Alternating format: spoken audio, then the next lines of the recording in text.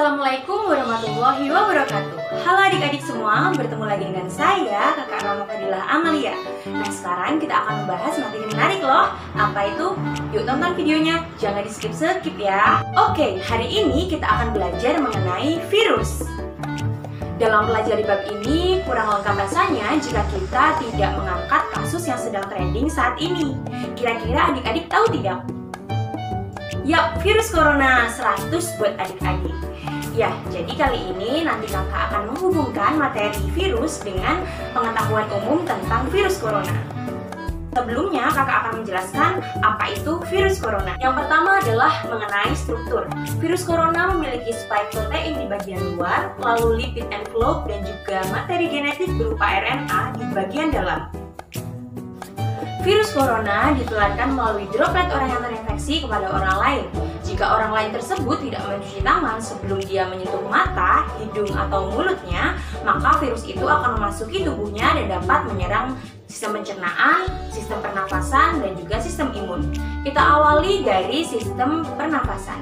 Virus ini akan memasuki paru-paru melalui membran berupa sel epitel. Virus ini terhubung dengan reseptor yang ada di dalamnya berupa AC2. Setelah itu, virus mentransferkan materi genetik berupa RNA ke dalam sel, sehingga terjadi replikasi dan juga peripat gandaan serta perakitan virus yang ada di sel tersebut. Pada fase kritis, sel akan siap meledak untuk mengeluarkan atau merilis virus-virus baru ke dalam organ atau manusia tersebut untuk menginfeksi organ lainnya. Lalu, kira-kira apa ya yang dialami seseorang jika terinfeksi virus ini? Yap, seperti yang kita ketahui, gejalanya berupa demam, lalu batuk kering.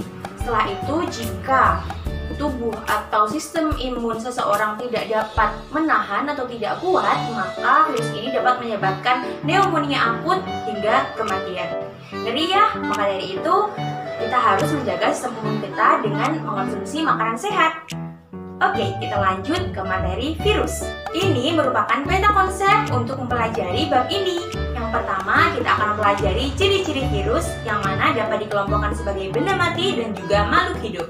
Setelah itu, kita akan mempelajari replikasi atau cara reproduksinya berupa siklus litik dan juga lisogenik. Dan yang terakhir, kita akan mempelajari peran virus dalam kehidupan yang mana ada peran menguntungkan dan juga peran merugikan. Oke, kita bahas ciri-ciri virus. Yang pertama, virus sebagai benda mati. Kira-kira apa ya yang membuat virus dikatakan sebagai benda mati? Yap, karena virus dapat ditemukan dalam bentuk kristal, yang mana jika virus tidak menemukan inangnya yang sesuai atau inang yang tidak hidup, maka dia tidak dapat berkembang biak, sehingga dia membentuk diri sebagai kristal. Kedua, virus dikatakan sebagai makhluk hidup. Kira-kira faktor apa ya yang menyebabkan virus dikatakan sebagai makhluk hidup? Yap, virus dapat bereplikasi atau bereproduksi di dalam sel inang, sehingga dia disebut sebagai parasit obligat. Selanjutnya kita bahas mengenai struktur virus. Yang pertama, virus biasa disebut sebagai makhluk hidup non-seluler atau aseluler karena dia tidak memiliki organel sel kecuali RNA atau DNA saja yang ada pada tubuhnya. Lalu yang kedua, virus memiliki ukuran lebih kecil dibandingkan dengan bakteri. Yang ketiga, biasanya virus ini ditemukan dalam bentuk kristal. Dan yang keempat, virus memiliki bentuk yang bervariasi, contohnya oval, batang, polihedral, dan kompleks atau bentuk T. Selain itu, struktur tubuh virus juga terdapat kapsid, yang mana kapsid ini terdiri dari beberapa bagian berupa kapsomer. Kapsid biasanya tersusun atas protein. Kapsid melindungi materi genetik berupa RNA atau DNA di dalam tubuh virus tersebut. Nah, lalu kira-kira apa sih perbedaan antara virus DNA dan juga virus RNA? Yap, yang pertama dari strukturnya. Virus DNA memiliki materi genetik berupa untai ganda, sedangkan virus RNA memiliki untai tunggal. Untuk kemampuan mutasinya, virus DNA lebih stabil dibandingkan virus RNA. Sebaliknya, jika virus RNA, maka tingkat mutasinya lebih tinggi dibandingkan virus DNA. Lalu selanjutnya kita bahas mengenai reproduksi virus. Seperti yang saya katakan sebelumnya bahwa virus hanya dapat mereplikasi dirinya di dalam sel yang hidup. sehingga dia disebut sebagai parasit obligat. Lalu virus memiliki dua jenis siklus. Yang pertama adalah siklus litik, yang kedua adalah siklus lisogenik. Yang pertama yaitu siklus litik.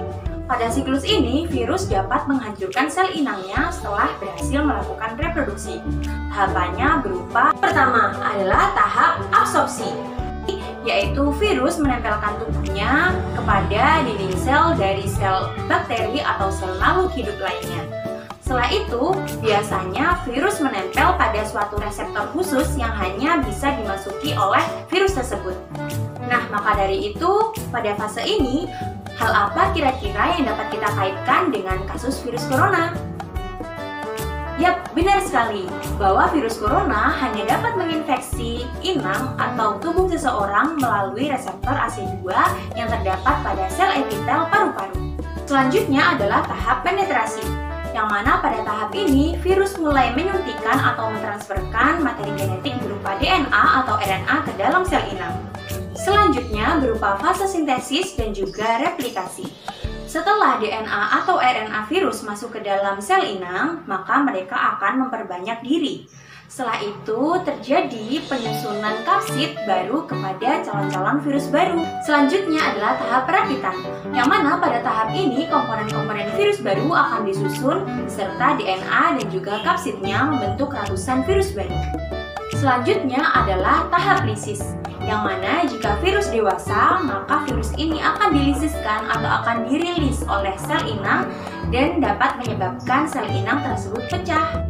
Selanjutnya merupakan siklus lisogenik, yang mana pada siklus ini virus tidak akan merusak sel inang, akan tetapi materi genetik pada virus akan berintegrasi dengan materi genetik pada sel inang untuk memperbanyak diri pada saat sel melakukan pembelahan. Selanjutnya merupakan tahapan dari siklus lisogenik. Seperti pada siklus litik, tahapan awal dari siklus ini adalah tahap absorpsi, yang mana virus akan menempelkan tubuhnya atau ekornya ke dalam reseptor spesifik dari sel inang. Selanjutnya adalah tahap penetrasi, yang mana virus mulai mentransferkan DNA atau RNA-nya ke dalam sel tubuh inang. Selanjutnya merupakan tahap penggabungan, yang mana pada tahap ini materi genetik pada virus akan bergabung dengan materi genetik pada sel inang membentuk DNA rekombinan. Selanjutnya adalah tahap replikasi, yang mana pada tahap ini gabungan materi genetik antara virus dengan inang akan memperbanyak dirinya melalui pembelahan sel. Setelah itu dihasilkan anakan sel baru yang memiliki materi genetik sama seperti sel sebelumnya. Namun dalam prosesnya, bakteri lisogenik dapat diinduksikan untuk mengaktifkan profagnya. Profag merupakan materi genetik pada virus yang dapat memisahkan diri dari materi genetik sel inang, sehingga dia selanjutnya dapat melaksanakan siklus litik. Oke adik-adik, setelah kita memahami siklus litik dan juga lisogenik, apakah yang dapat dikaitkan dari materi ini tentang virus corona? Yap, virus corona mereplikasi dirinya melalui siklus litik, yang mana dalam prosesnya dia dapat menghancurkan sel inang untuk merilis virus-virus baru yang dapat menginfeksi sel lain di dalam tubuh tersebut. Selanjutnya, kita akan membahas peran virus dalam kehidupan. Seperti yang saya katakan sebelumnya, bahwa virus memiliki dua peran. Yang pertama, menguntungkan dan yang kedua, merugikan. Menguntungkan seperti virus dapat digunakan sebagai vaksin dan juga pengobatan penyakit yang disebabkan oleh bakteri. Sedangkan untuk peran yang merugikan, virus dikaitkan sebagai penyebab penyakit pada makhluk hidup, baik hewan, tumbuhan, maupun manusia. Yang pertama yang akan kita bahas adalah vaksin. Prinsip dasar dari penggunaan vaksin adalah tubuh kita dapat memproduksi antibodi untuk melawan serangan dari virus. Vaksin ini merupakan suspensi dari suatu patogen antigen seperti bakteri maupun virus yang permukaannya telah dilemahkan atau dimatikan sehingga tidak berbahaya bagi tubuh manusia. Untuk perkembangan vaksin diawali pada tahun 1976, di mana Edward Jenner dapat menemukan vaksin cacar air. Lalu disusul oleh Louis Pasteur pada tahun 1985 dan kala itu dia berhasil menemukan vaksin rabies. Selanjutnya disusul oleh penemuan vaksin lainnya. Pada awalnya, pembuatan vaksin menggunakan metode tradisional atau konvensional. Tapi seiring berkembangnya zaman dan juga teknologi, kini vaksin dibuat melalui teknologi modern berupa rekayasa genetika. Pada pembuatan vaksin metode konvensional, ada beberapa cara yang dapat digunakan, yakni pemanasan, pelemahan, dan juga penonaktifan. Tetapi metode-metode tersebut dapat menimbulkan suatu resiko yang berbahaya bagi penggunanya. Yang pertama, patogen yang digunakan mungkin masih melakukan metabolisme. Yang kedua, patogen yang digunakan mungkin masih memiliki sifat untuk menyebarkan penyakit. Dan yang ketiga, orang yang bekerja dalam pembuatan vaksin mungkin bersentuhan langsung dengan patogen. Maka dari itu, untuk mengatasi berbagai risiko yang ada, sekarang telah dikembangkan vaksin menggunakan metode modern, yang mana metode ini menggunakan prinsip rekayasa genetika. Tahapannya berupa mengisolasi atau memisahkan gen-gen penyebab penyakit dari virus atau patogen tersebut, lalu menyisipkan gen-gen tersebut ke dalam sel bakteri maupun kultur sel hewan untuk menjadi DNA rekombinan atau suatu materi rekombinan. Setelahnya, rekombinan tersebut akan menghasilkan antigen, yang mana antigen ini akan diisolasi dan diperbanyak untuk menghasilkan suatu vaksin.